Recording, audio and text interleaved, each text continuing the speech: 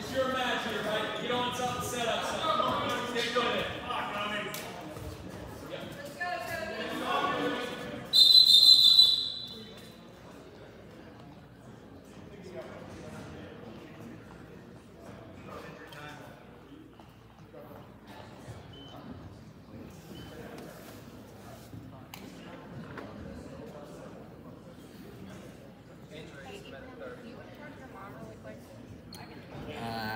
did.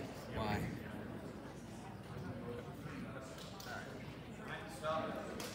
What'd she say?